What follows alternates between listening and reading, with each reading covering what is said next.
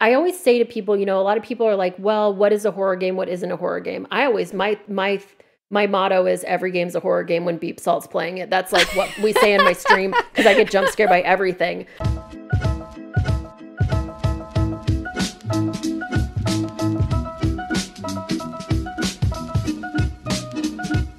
Hello, my friends. Welcome back to a candid conversation with. My name is Briesbe, and we are continuing on with our spooky series for October. I'm super excited because I have my first content creator. I, I've been talking mostly to devs uh, in the month of October. Got my first content creator. Although I think you are. I was about to say. I was going to say news for you. I know. I'm I think on my first game. Yes. So, So, do you want to introduce yourself? Who are you? What do you do? Hi, I'm Beepsalt. Uh, my pronouns are they, them. I'm a horror content creator. Uh, I also work for like GDQ doing like safety stuff. Um, I've been on streaming and doing Let's Plays since 2008.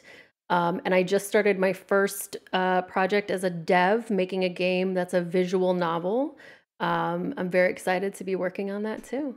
That's so freaking cool. So yeah, Yeah. I I have seen you tweeting about that recently. So for some context, you and I uh you are actually one of the first people that I've interviewed that I really don't know a whole ton about and that makes me really excited because I Oh, feel yeah. like there's a lot to like talk about for you. Oh, yeah, for sure. But you and I sort of know each other basically from Twitter, but because of GDQ stuff. I was on Yeah. GDQ staff recently, so I got to meet you like very, very briefly at SGDQ. Um, and then I just I know you from the internet, and I didn't even realize you were a horror content creator until I saw you in the um E3 what? presentation. Thank you. I was Yeah. like, what is the showcase? And I was like, I know them. That's Yeah. interesting. that was a super fun opportunity. Like I know so so I a lot of my horror content. I mean, some of it like over the last 2 years I've gone through and played I would say like 10 different Resident Evil games that I'd never played the Resident Evil series before. I'd been like a lot like more like psychological stuff and a lot less like shooty shooty. Um, but over the last I don't know, since 2020 when I came back to streaming, I've been at least a couple times a month exclusively playing a bunch of indie horror games. And so it started off with me making little collections on itch.io that I would just like look for stuff that looked cool and kind of check out stuff. Um, but I also ended up re- reaching out and like doing some stuff with DreadX and playing a bunch of their stuff too. And like kind of all of those guys and gals and that are involved in that are so amazing and all the games are so interesting and like as a horror content creator or just even like a horror experiencer Mhm. i don't want to i want to play that game that's going to be so unique and weird that i literally could not have anticipated anything about it. And so like the games in that showcase really are on that same level where it's like this is f-zero but horror. And this is like you know a really cr- crazy horror game where it's like you would never expect like it's not just your you know third person shooter or something like that. There's just like the most interesting stuff in those collections and that's why indie horror stuff really speaks to me because i can have that like surprise and you know good feeling from that and i loved working with those with everyone that was involved with that too and watching it was so cool Yeah, yeah. I think you and I are kind of on the same page where indie horror is very, there's a lot of room for experimentation. And Yeah, I oh, think yeah. that's the most exciting part of it. Um, I'm curious how you got into horror in the first place. Like, why, why'd you land on scary stuff? Yeah, I think so. When I first experienced like cinema, right, like movies in general, I really gravitated towards stuff like darker. I like I re- I know that this isn't a horror movie, but The Fifth Element is a movie that I really like stands out in my mind as like something I watched a lot or like was really focused on for a long time in like you know the late 90s Mhm. and the darkness and like weird like post-apocalyptic kind of vibe that's in that movie kind of had me branching further and further out and so i i didn't play a lot of horror stuff but my the first like horror game i really played was eternal darkness and that game scared me so much that i literally couldn't play it because And I don't think I've played that one. it's like at this point i'm not scared of it right because Yeah. i you know whatever but but the reason that that game is so scary is it does all of the things that the that all of the meta that horror games base themselves off of now 100% is eternal darkness because it's that third breaking the fourth wall not third wall fourth wall breaking the fourth wall where where like the game turns your compu- your TV volume down. The game blue screens. There's a fly on your monitor because it, you, it they like have a realistic image of a fly crawling around. Like the character's head falls off while you're walking around. So like it's so and then because you see this you see this in doki doki literature club right? Yes. you see this in undertale. Yes. you see i was playing um, this horror game that i really enjoyed another vn called cooking companions. There's that same thing where the game is letting you know that it knows you're playing it. And that's what eternal darkness does. And that like that scared me so bad. And so when i started doing let's plays I was friends with someone who had done some like blind let's plays where they had never played some of these horror games. So I played Clock Tower 3 with no experience in playing that game. And that one's not super scary, but it was that horror like vibe. And then after that, I just started doing it more and more and more and playing more horror games and then kind of became known for it. And it's because I feel like for me, I'm I touch a lot of these like like psychological horror stuff like a silent hill right? Where i'm t- i like to touch these like traumas and and pain spaces but in a way where you can also step back at it. It's not you. You can like bring a lightness to it especially as a content creator right? And so a lot of games i play the themes are so dark. A lot of these indies are so dark. And when it hits it hits. You know what i mean? And that's kind of why i just continued to do it and I keep coming back to it to like experience these same like these new traumatic stories that are just like obfuscated because it's not me, you know? Yeah, yeah, Yeah. No, I think I I also am in the same boat. And now that you've you've mentioned Eternal Darkness and kind of how that horror works, I have to go play it because that is truly- my it's like favorite if- kind of horror. If you're listening to this and you've never seen Eternal Darkness, okay, so first off, it's on the GameCube and it's really expensive now. Oh. but you it's probably available some other way. Uh, but uh, anyway there if if you have the chance to go back to my let's play i did a let's play of it where i showed every angle of the game every extended thing all of it. It's still on youtube and it's available. Um i've seen people play it in the last like two years and they are still as scared of it as i was you know 15 years ago when i played it for the first time it's so good That's an incredible that is a mark of a really incredible horror game. If you can stand Oh, the test of time and people can still play it to this day. Like I Oh, know yeah. plenty that have aged horribly. Oh yeah, definitely. But- I was playing Martian Gothic, and that that game surely did not age.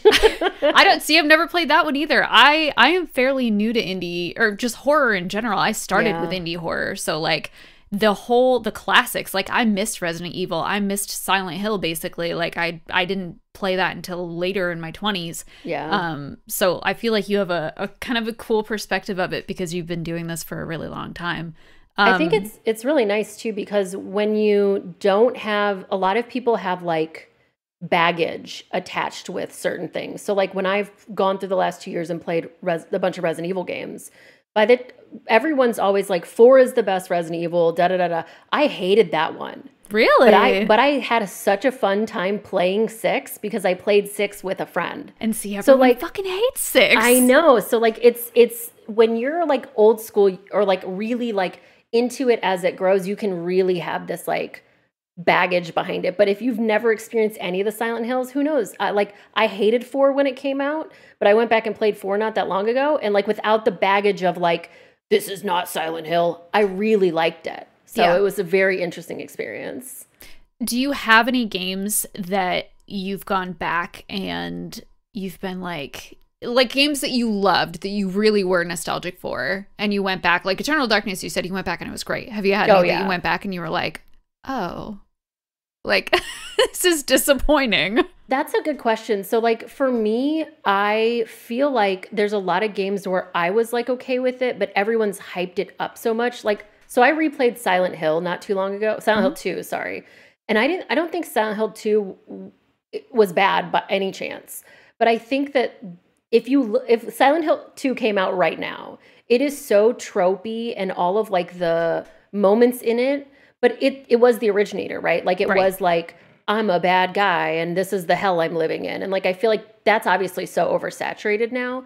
So looking it from the lens of now, just like I was like looking through Resident Evil 4 with the lens of now and I was like this is unpleasant.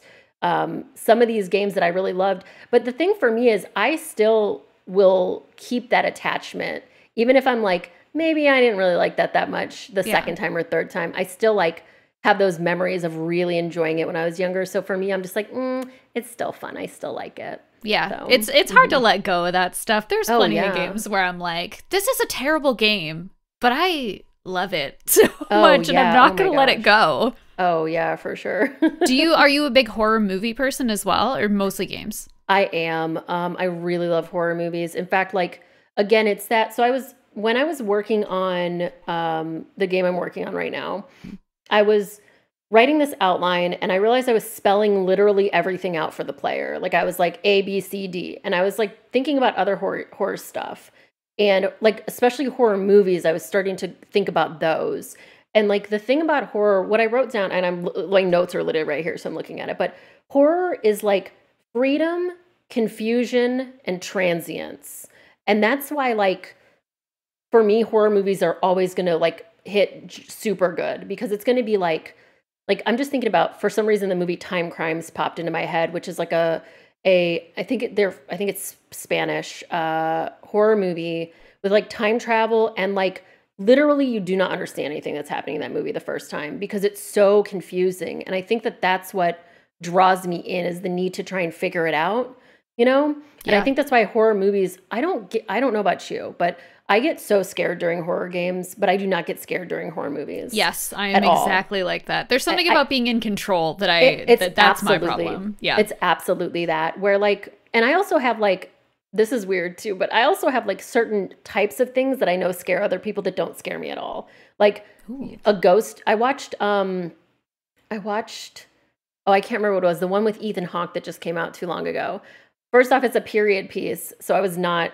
i was like this isn't scary it's like Sure. 1977 i don't care but it was all like ghosts and stuff and so ghosts do not get me at all like in a video game sure it- the ghosts are still going to scare me in a video game because it's Yeah. going to like you know but in movies it's got to be like there's certain weird things that scare me in movies. They're not, I'm just not going to get scared by movies the same way. And like you said, it's about the control of it. Like, I can get jump scared so easily when I'm playing any video game because I'm Yeah. I'm the one pushing the story forward for sure. Yeah, that's why I almost I sometimes prefer certain games to just watch somebody else play it. Because even Oh, I could be sitting next to the person, right? Same distance from the screen, but I'm not the one holding the controller. Oh, yeah. And so I'm like, I'm fine. Like somehow I I'm golden. Like I don't need to think about this. So yeah, I totally get that. It's really funny too because there are some times when I'm watching someone play the game and I'm more scared than them too. Yeah. Like- yeah. Have there I'm curious because you recently or relatively recently you played um Alien Isolation. I don't know if you finished it. No, I I zero out of ten. I did not like that game. We can go into it and I will describe why. But I I would love to because I also so I've got Stockholm syndrome with that game. So I Oh, started everyone that I game. know. Yes, Yep. yes. It it forces you it forces you into liking it and I now I mean I changed all my art, but I used to have xenomorphs all over my wall.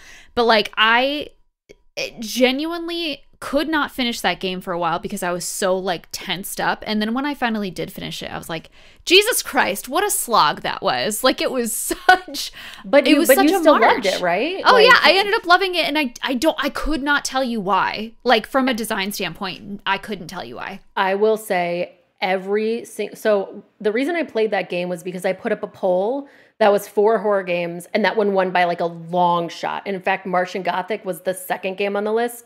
And I ended up playing more of that than I did of Alien Isolation. And Martian Gothic is this horrible PS1 game, which I will go back to eventually, but I needed a break from it. It's really You hard. sound like me. oh yeah. Um, but with with Alien Isolation, so I like a game like I so I played Prey, which Prey Mhm. 2017, one of my probably my top five games of all time. I love Prey. Everything about that game is like a 10 out of 10. The visuals, the everything. And so when I played Alien Isolation, I was like, oh, this is gonna feel like Prey. We've got AI, we've got things chasing you. You're like going through a space station.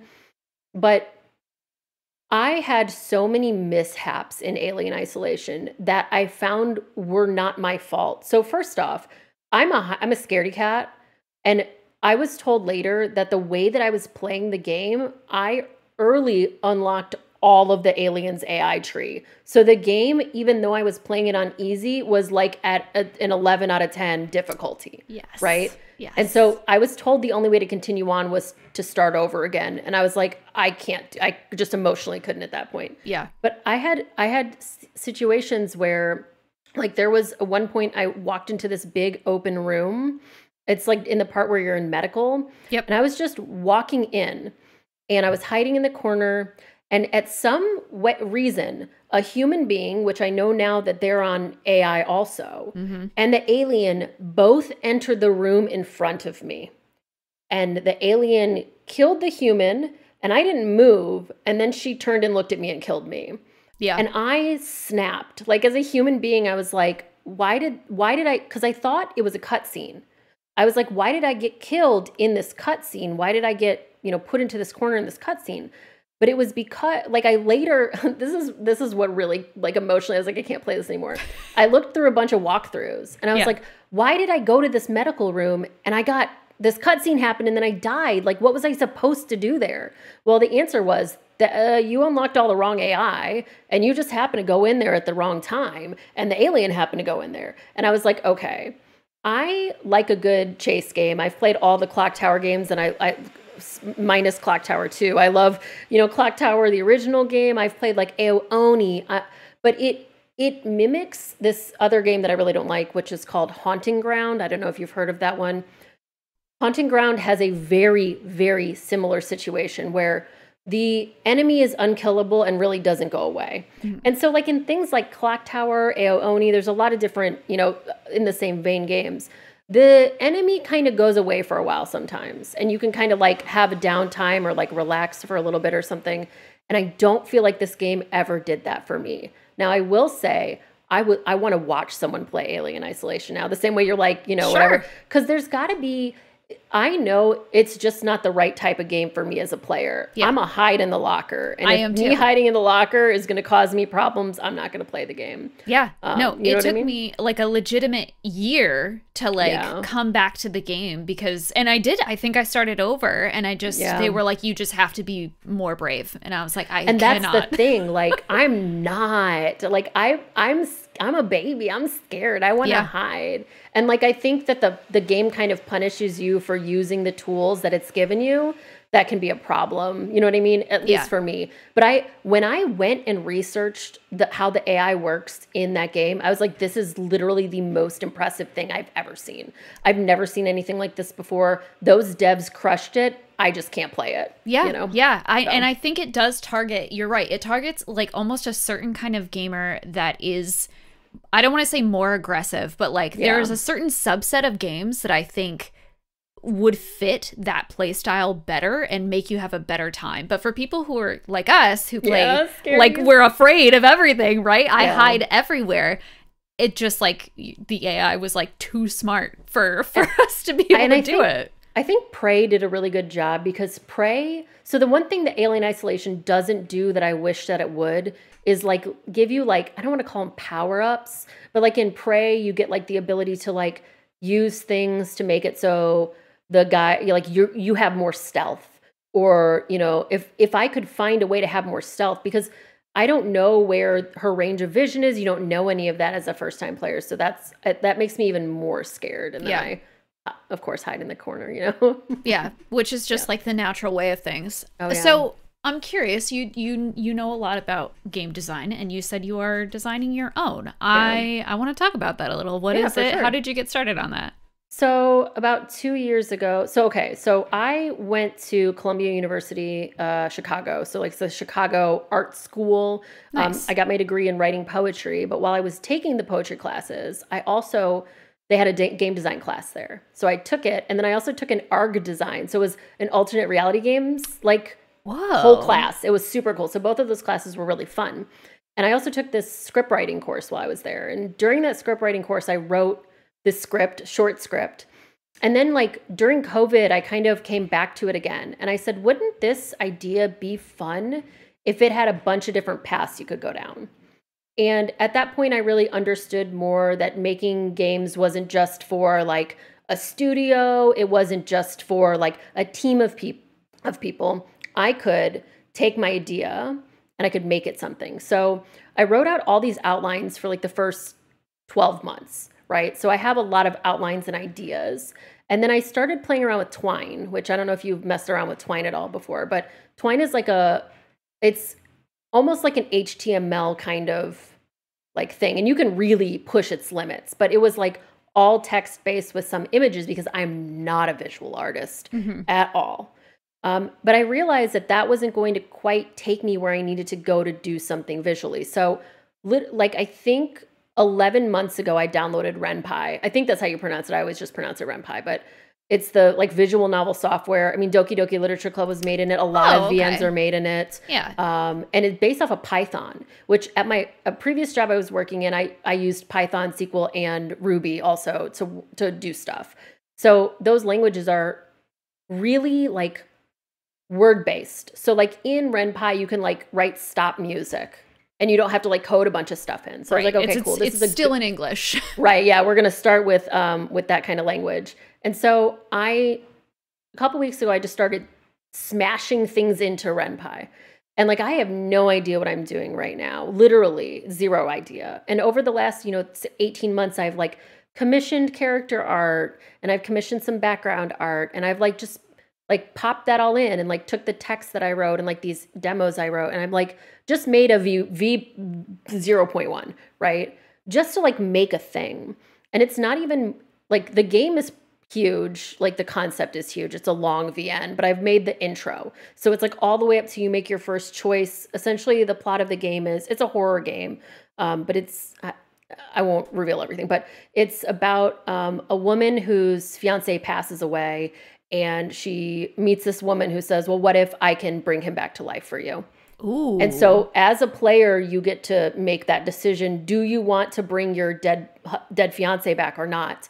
Um, the one catch, because you know there's always a catch, is that he it's really hard and there, uh, i was like how do i gotta write some lore. But it's really hard for this woman to with whatever way she's doing this to bring back his memories. So he's gonna have a lot of stuff he's gonna have his childhood but he's not gonna remember her at all. So Oof. so does she bring him back knowing that she would have to like meet cute start this relationship over with him or does she not and try to heal from all of the stuff that's been going on with her? And it's brutal. Yeah, and both of those through lines exist in the game. So it's not like you choose not to bring him back, well, game's over, right? It, it I truly was like, I want the player to have because I played the Walking Dead game, and every choice you make in that game, well, not every, but most of them really don't mean anything by the end of the game, right? And I wanted some I wanted your choices to really matter. Yeah. And so that was and it's been really rewarding working on this for the last couple of weeks. I now understand like I could I feel like I could do a game jam just from the amount of like stuff I've worked on with this.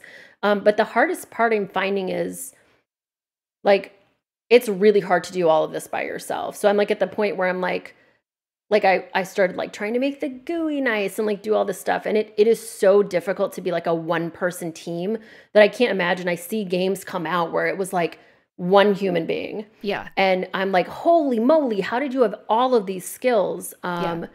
and so i'm like now i'm like okay i'm gonna there's gonna be a point where i'm gonna have to start collaborating more too. So i'm like looking forward to that a lot also. Yeah that's it's very rewarding so far is your is your end goal to actually release it as a full title that like you want people to play or do you just want to make this and be like I made a thing and if it never releases that's okay? So for a long time I was like I'm just writing this stuff down. You know because like I I mean I as as a person who writes poetry um, there are two kinds of people that write poetry. There's poets, and then there's people who write poetry and uh, people who write poetry they just want to write stuff and vomit it out and like let it free into the world which is the most pure form. But then there's this level of like po- poet where you want that feedback. And i think there's something about this story to me that i want that feedback so badly like that sometimes i'm just working on it and i'm like bouncing ideas off of a friend and i'm like this isn't shit right? This is okay right? Yeah and it's not like I'm like, oh, I'm gonna, I'm not even trying to like make Undertale or something. Like I feel like so many people want to make their game be like the next like mind breaking thing. But I want to tell this story. And I found that telling it as a short film didn't work. And then telling it as this like outline didn't work. And so now that I'm like branching into telling it as this like interwoven narrative that reaches beyond what like one story can tell I realize, well, if as long if this doesn't get finished, I'm at least like going in progress toward it. And I yeah. think finishing I finished Cooking Companions, I was mentioning this before, I think mm-hmm. which is Deer Dream Studios, and I think that's a solo dev also. Maybe they like commission art, but they're also like a solar coder, solo coder and story writer.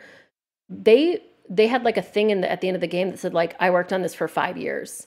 And that's the thing about these seeing all these indie games uh, the amount of respect I have for like you worked on this for five years that now I'm just like, you know what? If I work on it and I don't work on it for another two years and then I come yeah. back to it again, it's still, I'm still working on it. It's still, this is just a, making a game is really a big process, right? Yeah. So, like, if this does turn into something where I can like share a story with a lot of different people and like make people maybe a little scared and have a little, you know, fun or think or whatever, then that's really like the end goal. And that's what all of my content I feel like feels like to me. Like I play almost all first person or sorry, first playthrough games. Mm-hmm. So I don't like play the same game over and over again. Like right now, when my main playthrough I'm doing is Majora's Mask. I've never played through Majora's Mask and I've never seen anybody play through Majora's either. Mask.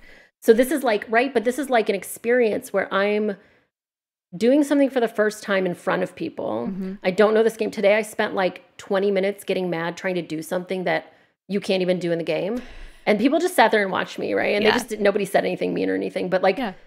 me making this experience to be like, oh, I'm sharing this with somebody, like yeah, you know, and and so like for making a game, it's like a very different experience because I want to be like, everybody, check this out, check this out. But it's like, I don't know, it's still it's still a baby, it's still a little baby. So and you do have yeah. a little bit of the advantage at uh, just pressure wise that like you're not making this for a deadline exactly. for someone you know yeah i don't have like thing. yes i'm not like trying to like you know it's not like um i gotta get funds i gotta get out the door i gotta you know what i mean? I'm just like tinkering here and there. Maybe i wake up in the morning and i'm like oh actually like i found this thing. This is cool. So yeah. you know yeah, yeah. for sure. Do you so i'm i'm trying to like parse together like your jobs and everything you do. What what do you do full time, part time, like as your career? I know like you work with GDQ, obviously, like you yeah. stream. What's your. I have a like a day job where I do support work that's like technical. So I've been in like a technical field for, you know, 15 years almost. I'm almost, I'm going to be 40 next year. So I've been working like in the workforce for a long time, which is really interesting because I'm talking about how like I'm a poet and I write poetry and I write stuff, right? And I like imagery and stuff, but my day job is very technical and that's why game dev is like this other world too where it's like i'm using my skills that i got from like storytelling and like the experience from like writing stuff and, and playing games but then i'm also using this technical knowledge which is like you could want to tell whatever story you want when you're making a game but if you can't make the game do the thing that you want the story to do you can't do it. Right. Like when you're writing text i could write anything i want which like I think about George R. R. Martin a lot. Like he wrote Game of Thrones because I don't I think either he wrote it because he oh no, I think he wrote it because he couldn't if he if it was a TV show it would have cost too much money. So he mm, wrote okay. it because that was the way he could create that vision. So he right. wrote a book which it's so funny that it turned into a TV show eventually, but but like the when you're making a game you have big limitations that you don't have in text or and depending on like the engine you use. So it's super cool to like work within these limitations, these technical things while I'm also like trying to tell this story of this girl who's like having a rough go of it, right? So Yeah, you've really kind of found the sweet spot, like the best of both worlds where you're you have the knowledge and you have oh, yeah. the ability. So like just make the thing, you know? Oh yeah, it's, and it's been super fun for sure. That's awesome. Do you yeah. So I'm curious. So you stream and you do some. I have a list of things you do because I, I, do I was like, I was like true. going on your website. I was like, holy cow, they do so much. Um, so you not only are a content creator and now a game dev. Uh, you also have a stream team. You have Clock I Tower. do. The Clock Tower. It's Yes. a stream team full of horror streamers predominantly. So cool. So it's so Um, fun. Yeah, I mean, you can talk about it if you want. I don't know, like Oh, I- when it started or. We it was like a little over a year. We did our one year. We did like a um, marathon of like chaining together, like rating each other. In I think it was April, maybe maybe it was March. That was our one year. Um, and so like I really just couldn't find a horror stream team that was just like horror stream team. Like I found some stuff that wasn't didn't really. I don't know. I was like, it's not. It's really hard as like a horror content creator to find a stream team. I don't know why, but it just was really hard for me. And I was like, I had a vision one day where I was like, oh, I want to make the stream team called the Clock Tower. I was like, that was all I thought of was the Clock Tower because you know every horror thing has a clock tower in it. Yes, it there's does. a Clock Tower series. There's Resident Evil as a clock tower. Every time I play another game where there's another clock tower, I'm like, they're following me everywhere. Um, but then it was it's been a really fun collaboration. We've raised money for charity. We've done marathon streams. We're going to do our first uh, speedrunning marathon coming up in October. Um, so it's really really fun. Everyone on the team is really exciting. Some of us I got to meet at SGQ, which was really fun too. Um, and then yeah, I, I really like. I think that it's very hard to find people who are. I don't. It's so many horror groups are like predominantly like a DBD kind of thing, or like they're playing like online horror stuff. But this, I feel like a lot of us are more um, playing like solo stuff. We have a lot of indie people that almost exclusively only play indie horror. Like Noir Mouse is on my team, Yep. and he almost only does that. He works with like indie people too. So like intentionally seeking out people who are into that same like genre of like the weird indie, right? So yeah, yeah. yeah, That's super cool. Yeah. And on on that note, you mentioned a speedrun uh marathon, which you should send me like any information on oh that, yeah, for would sure. totally be happy to support that. Um I'm curious, how did you get into GDQ? How Oh yeah, so. I don't know if you know who Rom Scout is. I don't. Um, so Rom Scout was one of the like uh, when I first started doing Let's Plays in like 2008. He was one of the first people I ever met. I actually met him in person a bunch. We both lived in Chicago at the time.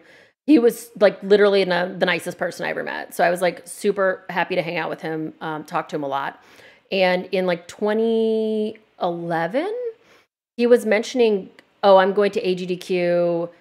and it, this is the second it was like literally the second time they were doing AGDQ. And I was I mean, I've been obsessed with speedruns since I first saw like a Super Mario Brothers 3 TAS of and I was like, how is someone doing this? And then I found out nobody's doing this. It's a computer. And then I found out people sometimes do this too and I was like this is the coolest thing ever. And so he was like you should come to this. So I I went to it and it was like one of the we- wildest weeks of my life. Um, this was when GDQ, it was like literally there were a hundred of us, if even that many people. And I just had such a fun time. I like met everybody. The crowd was so like tight knit and we raised a bunch of money for charity. It was like over a hundred thousand. I was like, whoa, this is so cool. And so Wild kept- number compared oh to my now, gosh. right? oh yeah. And I just kept coming back and staying involved and like making friends and stuff. And so like it it just became like I was in the right place at the right time to like meet the right people and know the right people and then want to help in the in a way that not everybody wants to help. Like a lot of people want to go to GDQ, they want to be on stage, they want to, you know, promote their stuff. Um, but a lot of these backstage roles that exist are so so vital. Like I can't tell you the amount of hours people who are host judges have to listen to people talk for 10 minutes over and over again.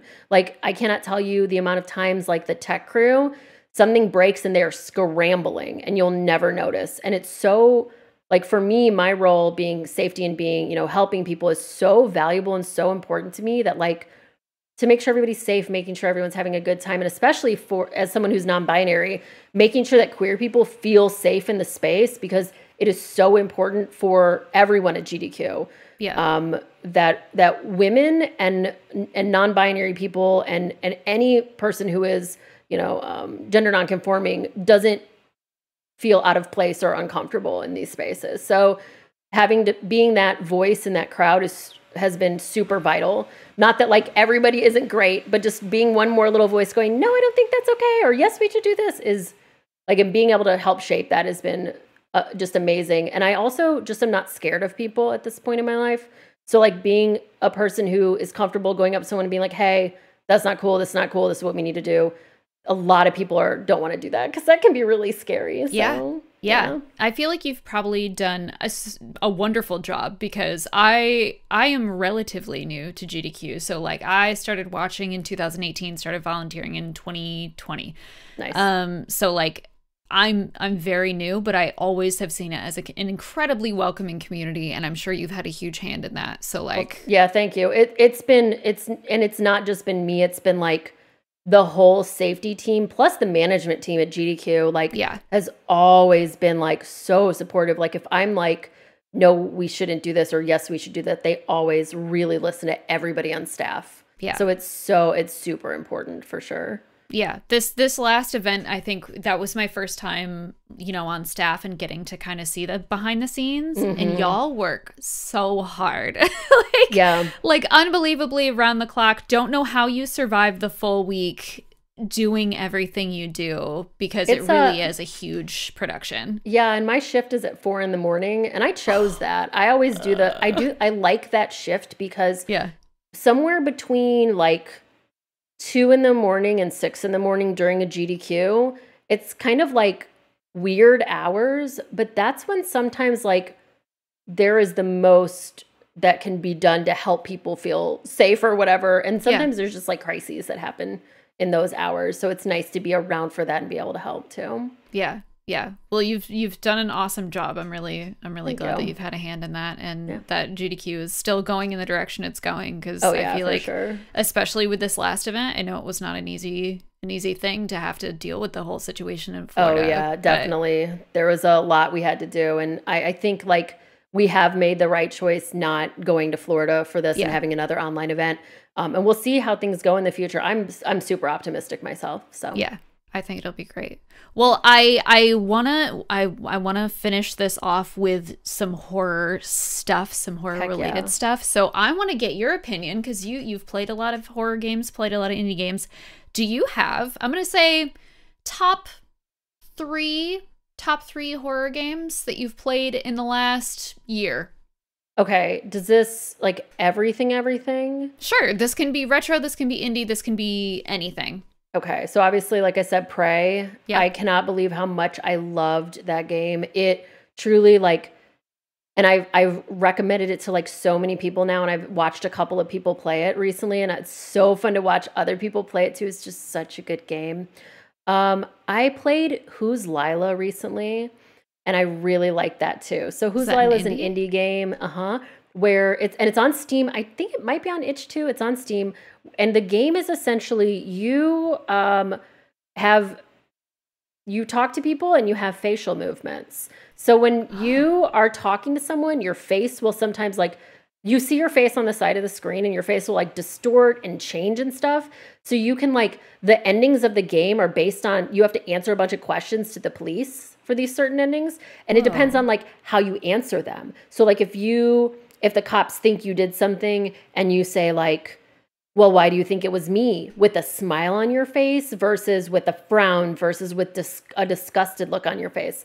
So different. It, and it's it's it's just a, such a unique game that I I would definitely suggest it to people. There I would say there's some visual stuff that's like might be a little hard in the eyes depending. It's like black and white or like a two-tone game, so like World of Horror or something like that Yes. where it's it's very flat. It looks like an old game, but it's so interesting and you like b- beat the game over and over again. So you like beat the game once and you think it's the end, but it's not the end because you can then unlock other things and other weird stuff happens. And there's like a second app that's like a demon that opens on your. I can't even. You just have to check it out. And it's not that expensive. It's on Steam, and I think it's probably another like solo or like single dev. Really, really enjoyed that game. I Such an, that. so interesting. And I didn't when I stream stuff like that, I don't 100% it. So I didn't even see everything. And I'm sure there's just even more that's like super good that I would thoroughly suggest too. Okay. Um and I'm gonna I'm gonna say one game that's it's a horror game. I have to say it just because how much like it like the series has affected me. But Danganronpa, um, really Yeah? like so I played the th- all three of those games in the last um two years or so, or maybe even not that long. But I played Danganronpa 2 in like January of this year. That game and I the game both two and three, I think, they're horror, but not psycho. Well, they're psychological too, but it's it's in such like. I always say to people, you know, a lot of people are like, "Well, what is a horror game? What isn't a horror game?" I always my my my motto is every game's a horror game when Beepsalt's playing it. That's like what we say in my stream because I get jump scared by everything. But Danganronpa is is such like a thematically scary game. Yes. So terrifying. And the way that V3 ends is absolutely like the devs saying screw you to the players, the story saying screw you to the players. And I ate it up. I loved it because I love like such like a massively downer situation. Yeah. Where like there's just something about those games where they're also like VNs, but they're like messed up and there's like there's like weird choices and you can't see everything but they're and they're so like also so japanese that there's just like something about them that hits on like another level so i loved playing those the first one is okay and then i also get you get attached to some of these characters Yes. like there's sure. a character in the second game who um ends up killing somebody but the way that this character like describes why they did and anyone who knows me will know who i'm talking about because i have like plushes and like stuff of that character I, i'm obsessed with them already um but like it's so cool to see like a messed up weird viewpoint and be like actually i agree with that Yeah. that's so like and and you're like man you just killed somebody but i, I uh, i'm with you still so Yeah. like those three those are three games that i've played in the last like year that have been like oh my god they're so good so I love them that. everyone yeah. I uh I wouldn't have uh, like I I do recognize Danganronpa as like its own horror kind of thing. yeah yeah yeah But I love that that was your that was one of your top 3 games because it's not I don't think it's, It's the first one to come to mind. like when I look at the list of games I played on stream, there's like for every layers of fear, there's like 10 games where I'm like, is Fallout New Vegas a horror game? Yeah. Maybe it is. You know what I mean? Like I'm like, oh, I see some stuff going on in there. So We should know. definitely like in the future we should do uh just an episode of this where we like have a list of games like Oh, and, 10 like, and we rate 'em? go is this a horror game and then Oh, we yeah. go through and we try to like analyze it because I think that sounds is, so is fun. Resident Evil 4 a horror game? I don't Right. know. If, right? Mm, Maybe. I don't know. We're gonna we'll have to talk. I love that. Well, I'm I'm I'm glad I got to ch- chat with you. Yeah, for Do you want to just like shout out your socials? Where can people find you? I'm literally Beepsalt everywhere. like I'm Beepsalt everywhere. Um, people ask where my name came from. Random no- name generator. If you know my old name, no, you don't. Um, I've had the screen name for like four years now, and I will never change it. And it's beep salt. So like um, a noise and then uh, chloride. Um, and it's I'm that everywhere. Um, and if you, it, yeah, I, that's I'm I'm on it. Except for I think I'm al- also on TikTok. I don't really post on TikTok, but I think that's dot ttv or something like that and then the clock tower stream team is also on uh like team slash the clock tower on you on twitch um and i my my main channel for like uploading playthroughs so if you're curious about my reactions to any games or or any playthroughs of any games i've played in the last couple of years is on uh, a channel on youtube called Beepsalt extra sodium Oh, I Um, love and that. that is that is my full like the full playthroughs of stuff that i post up there so awesome. Yeah. Very cool. Well, thank you for doing yeah, this it's again. been super fun chatting with you. I really appreciate it. Yeah, of course. for everyone else, I will see you in the next one. Goodbye. Bye.